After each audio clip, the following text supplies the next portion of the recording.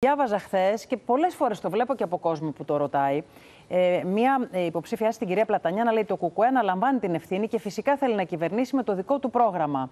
Ε, θα ήθελα να σας ρωτήσω, ποιο είναι αυτό το πρόγραμμα που εσείς προτείνετε; Ναι, ε, θα μου επιτρέψετε, επειδή όπως είπατε, άκουσα πολύ υπομονετικά τη συζήτηση και να σας πω δεν το έκανα και τυχαία, γιατί θεωρώ ότι είναι και λίγο αποκαλυπτική αυτή η συζήτηση. Θέλατε να ακούσετε. Ναι, όχι, δεν, ξέρω ότι ακούω, αλλά λέω ότι είναι και αποκαλυπτική για τον κόσμο, γιατί ξέρετε και στον κόσμο συζητώντας υπάρχει μια ιδέα από ένα σκυλοκαυγά, ο οποίος ε, δεν έχει περιεχόμενο, να σας το πω έτσι.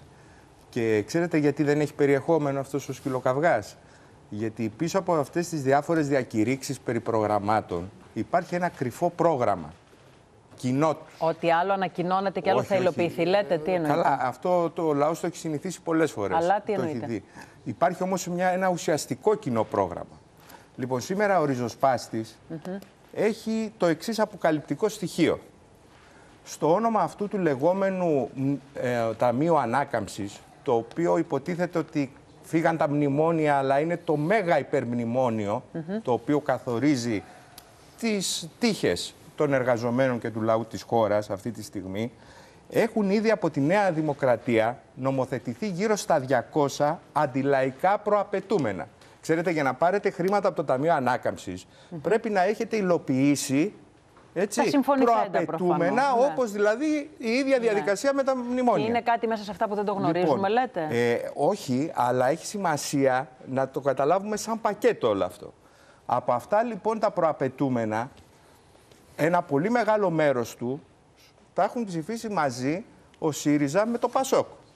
Μπροστά υπάρχουν άλλα 350 προαπαιτούμενα αντιλαϊκά τα οποία θα πρέπει να εφαρμόσει η επόμενη κυβέρνηση, όποια και αν είναι. Συνεπώς, τους βάζετε και τους δύο είναι, και τους τρεις στο ίδιο ράφι; Αυτά είναι τα ψηλά γράμματα των ναι. προγραμμάτων τους. Ξέρετε, είναι όπως τα συμβόλαια στις τράπεζες. Mm Πας, υπογράφεις το συμβόλαιο, ακούς τις διακηρύξεις, έτσι, είναι τις τέτοιες και υπάρχουν και τα ψηλά γράμματα χρόνο τα οποία μιας καθορίζουν. Τηλεοπτικής ε, ε, εκπομπής, ναι. θα ήθελα να μας πείτε ναι. και αυτό που σας ρωτώ. Ναι, ναι, θα το απαντήσω, θα το απαντήσω. Λοιπόν, άρα λοιπόν είναι κρίσιμο να καταλάβουμε ότι αυτή τη στιγμή έχουμε απέναντί μας ένα κοινό αντιλαϊκό πρόγραμμα που θα κληθεί να εφαρμόσει η επόμενη, η επόμενη κυβέρνηση.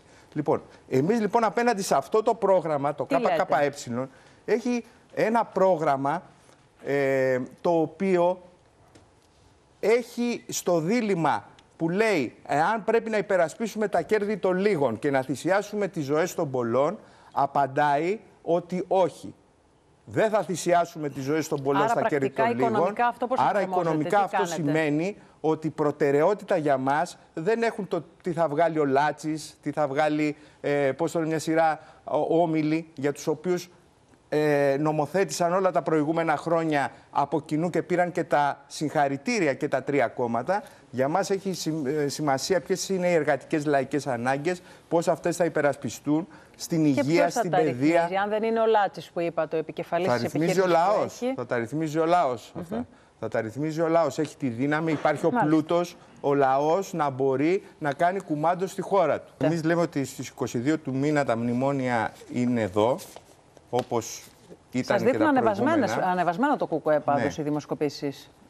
Ναι, και αυτό είναι αυτό κάτι που, το... που προσλαμβάνουμε και από τον κόσμο. Πώς θα το λοιπόν, εκμεταλλευτείτε 22 θετικά. λοιπόν του μήνα τα μνημόνια είναι εδώ, όπως είναι και σήμερα εδώ τα μνημόνια. Δεν φύγανε, όσο και να κοροϊδεύουν και οι δύο και οι τρεις τους ότι τα μνημόνια έχουν φύγει. Λοιπόν, είναι εδώ, υπάρχουν αντιλαϊκά μέτρα που είναι μπροστά μας, υπάρχουν δύσκολα που είναι μπροστά μας και γι' αυτό είναι κρίσιμο το πόσο ισχυρό θα είναι το ΚΚΕ την επόμενη μέρα για να μπορέσει να είναι αντίπαλος σε αυτή την πολιτική. Γιατί αυτό χρειάζεται σήμερα ο λαός. Σωτήρες δεν υπάρχουν.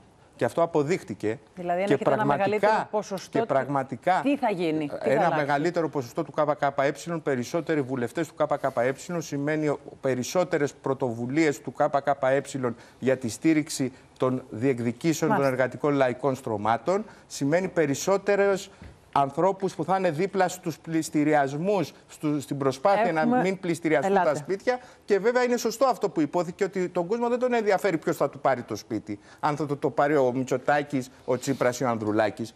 Το, ο κόσμος αυτό που πρέπει να κάνει είναι να μην αφήσει να του το πάρουν το σπίτι.